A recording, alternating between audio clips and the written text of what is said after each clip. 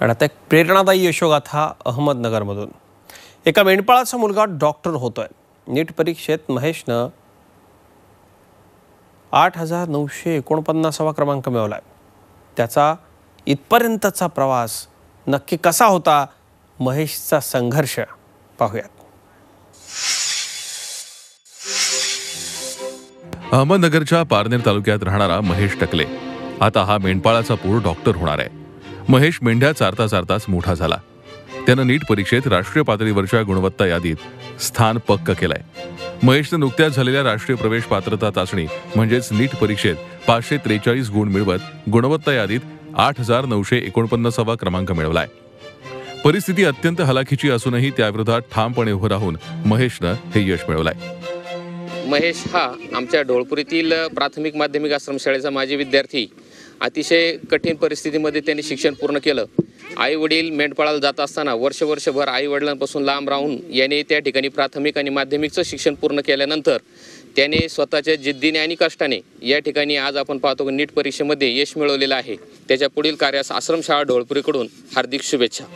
महेशनं प्राथमिक आणि माध्यमिक शिक्षण पारनेर तालुक्यातल्या ढवळीपुरातल्या आश्रमशाळेत राहून पूर्ण केलं. तर उच्च माध्यमिकचं शिक्षण निफाडमधून पूर्ण केलं. आता नीट उत्तीर्ण झाल्यावर डॉक्टर होण्याचं त्याचं स्वप्न आहे. मी नीट या परीक्षेमध्ये पाचशे त्रेचाळीस गुण मिळवलेले आहेत. त्याचप्रमाणे एम बी बी एसचा प्रवेशही माझ्यासाठी खुला झाला आहे. माझं जे स्वप्न होतं ते मी आता थोड्याच दिवसात पूर्ण करणार आहे. त्याचप्रमाणे मला पुढे जाऊन एम एस जनरल सर्जन व्हायचं आहे. अ, मूळगाव माझं ढवळपुरी आमचा मेंढपाळ हा व्यवसाय असल्यामुळे प्राथमिक शिक्षण हे ढवळपुरीतच झालं. ढवळपुरीच्या आश्रमशाळेत मी पहिली ते आठवीपर्यंत शिकलो. अख्खं कुटुंब मेंढपाळ असल्यानं सतत भटकंती नशिबात असायची. आश्रमशाळेत शिकून महेशनं नीटचा अभ्यास केला. महेशच्या या यशाचं आई वडिलांना कौतुक आहे.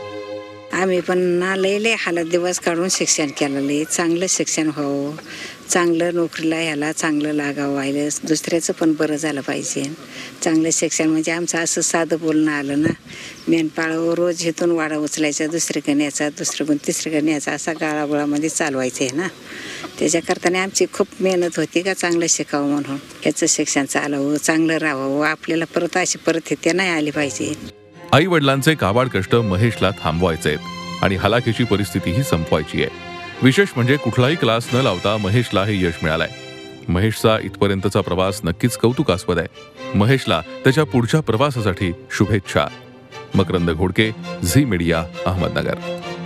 झी चोवीस तास. रहा एक पाऊल पुढे.